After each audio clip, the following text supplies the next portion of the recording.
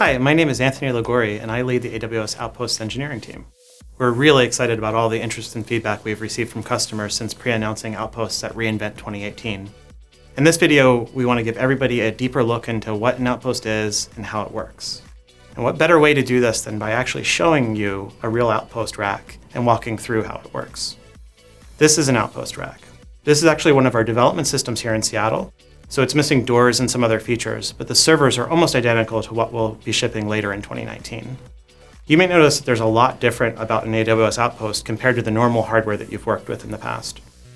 That's because an Outpost consists of the same hardware we use within our public region data centers, and we've spent the last 12 years optimizing the rack design to deliver the best possible experience for our customers.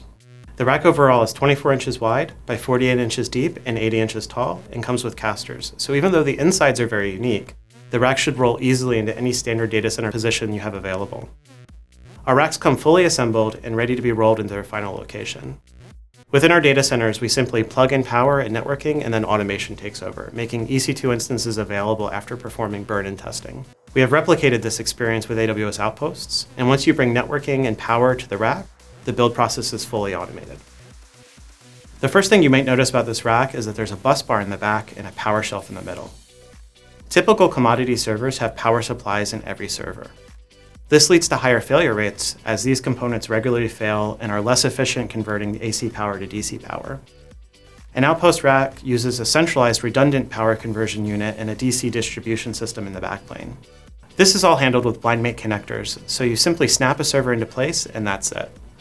This architecture improves reliability, cost, energy efficiency, and serviceability. We also have included dual switches in Outpost racks to increase availability and make servicing easier. Every active component in an AWS Outpost is redundant and can be removed and replaced without impacting any other workloads. We will notify you of any failure we detect and provide instructions on which component to remove and ship back to us, and we will ship you a replacement part that can just slide in. Bringing new capacity online is entirely automated, and you don't have to take any special actions to configure a replacement server.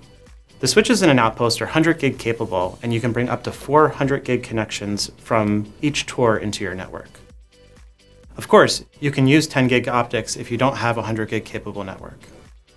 We also have reserved ports on each TOR to allow cabling outpost racks to each other to allow for creating outposts larger than a single rack, while still enabling high-speed communication between instances placed on separate racks. All of this is powered by our Nitro system, which includes a purpose-built hypervisor and hardware platform including various Nitro cards, which are in every one of these servers. The most exciting part about Outpost to me is that every one of the servers you see here is available to you as the customer for running your applications. The Outpost uses the same control plane every other rack in EC2 uses. In fact, the only difference between this rack and every other EC2 rack is that we've included an additional Nitro chip in every server to help connect servers back to the public region. This ensures that all of your workloads that run in public AWS regions function exactly the same way within a local outpost. This is all possible because we've built our hardware and software from the ground up for one purpose and one purpose only, to execute EC2 instances and AWS services on premise. This isn't an experience you can get without having the same AWS infrastructure that we operate in public AWS regions on premise. Outpost brings AWS to wherever you need it. That's all the time I have for today, but we're extremely excited to keep hearing your feedback about Outposts and look forward to bringing Outposts to a data center near you.